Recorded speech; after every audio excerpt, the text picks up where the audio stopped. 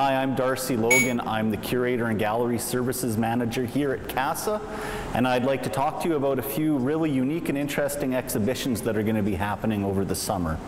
Uh, we have three major exhibitions. We have the Cabinet of Curiosities, we have DERP, and we have Fine Arts at 50. Each of these exhibitions is unique and distinct, though there is a, a thread that runs through them all that I think the community will be very interested in. In the main gallery, we have the exhibition Derp by Andrea Kowalchuk.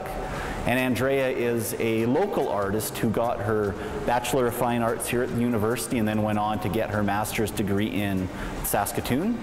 And she is interested in doing large, bright, colorful animal paintings based on internet memes. We're all interested in cat and dog videos, and so she takes screenshots from some of the most viral of those and does paintings. And it's a really unique counterpoint to the sort of work she used to do, which was uh, quite dark and heavy and conceptual. And now she's creating works that are just vibrant and uh, fill you with joy. We also have the exhibition, The Cabinet of Curiosities, which is guest curated by Leela Armstrong and Megan Mormon, who are two artists and curators in the community. Uh, the Cabinet of Curiosities is a celebration and exploration of LGBTQ um, identity and culture. But the work is done by people that identify that way, but also family, friends, and people that uh, want to support the people they care about.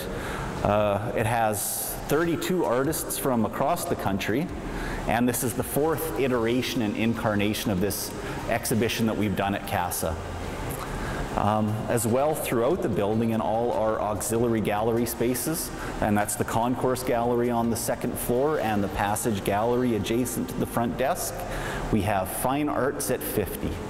Um, this year marks the 50th anniversary of the University of uh, Lethbridge. So what we did was partner with the university to celebrate their fine arts department.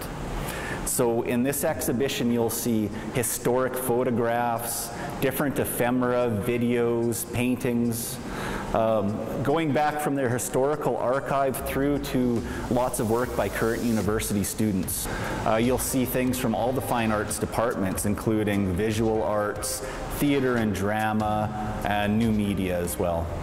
Uh, so these exhibitions run throughout the summer till the 24th of August, and CASA is free to attend, and I'm sure there'll be something here that will be of interest to you, so I encourage you to come out.